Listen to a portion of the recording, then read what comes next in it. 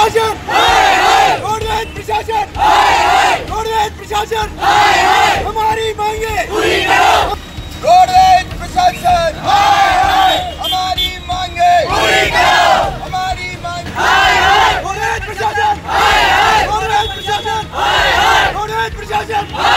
Roadways प्रशासन हमारी मांगे हमारी मांगे रोडवेज़ प्रशासन रोडवेज़ प्रशासन रोडवेज़ प्रशासन हमारी मांगे हमारी मांगे हमारी मांगे रोडवेज़ प्रशासन रोडवेज़ प्रशासन पूरी करो पूरी करो रोडवेज़ प्रशासन हमारी मांगे पूरी करो हमारी मांगे पूरी करो हमारी मांगे पूरी करो रोडवेज़ प्रशासन रोडवेज़ प्रशासन रोडवेज़ प्रशासन ये हमारे बस श्रीनगर बस की बहुत ज़्यादा प्रॉब्लम है। स्टूडेंट की उससे बहुत ज़्यादा प्रॉब्लम होती है आने आने में दिक्कत होती है। टीचर्स भी फिर हमें डांटते हैं कि क्लास टाइम से नहीं लेते और नहीं और किसी चीज़ की मतलब बसें बिल्कुल नहीं चल रही है। एक ही गाँव नहीं यहाँ बिल्कुल पास में मतलब छः सात गाँव है जो उसी बस में ट्रैवल करते हैं। सबको प्रॉब्लम होती है अजमेर आने जाने में। काम वाले अंकल वगैरह सबको प्रॉब्लम होती है।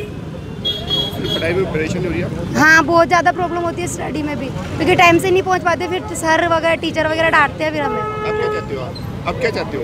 हम अब हम ये चाहते हैं कि हमारी बसें यानी टाइम से चलाई जाए। कितनी बसें मतलब तीन बसें तो होनी चाहिए मिनिमम ताकि बच्चे टाइम से कॉलेज वगैरह आ सके। पूनम उदय।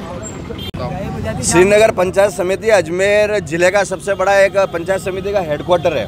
उस हेडक्वार्टर के ऊपर से आसपास के जो गाँव है 40-50 गाँवों के छात्र छात्राएँ अजमेर अपने अध्ययन के लिए आते हैं कोचिंग के लिए आते हैं। प्रतियोगी परीक्षा हुई कॉलेज हुए, विश्वविद्यालय हुए और अलग अलग प्रकार के काम धंधे के हिसाब से यहाँ पर छात्र छात्राएँ पहुँचते हैं। लेकिन जिला प्रशासन की ये आप हर तरबिता लापरवाही देखोगे, छात्रों को परेशान करने पर तुले हुए हैं जिला प्रशासन और सरकार के अधिकारी, क्योंकि श्रीनगर के छात्र छात्राओं ने राजस्थान रोडवेज़ के अधिकारियों से बातचीत करी थी, वहाँ से इन्होंने डांट फटकार के भगा दिया। आज मजबूरन जिला कलेक्टर साहब को हमको मुलाकात करनी पड़ रही है, क्योंकि जो छात्र छात्र हैं उनको परेशान किया जा रहा है। जब से राजस्थान के अंदर ये सरकार बनी है, ये छात्र विरोधी और युवा विरोधी है अच्छी सड़कें वहाँ पर उपलब्ध हैं। श्रीनगर से लेकर अजमेर तक सड़कें भी हैं। लेकिन जो पहले चार बसें चलती थी, उनको दो कर दिया गया और छात्र छात्राओं की मांग है कि इसको बढ़ाकर चार की जाए। क्योंकि हर प्रति घंटे के अंदर कुछ ना कुछ यहाँ पर जो कोचिंग संस्थान चलता है, छात्राएँ बहुत अधिक मात्रा में आती हैं। तो जिला प्रशासन से हमारी मांग है कि जल्दी से जल्दी चार बसों का सुचारू आवागमन चालू किया जाए।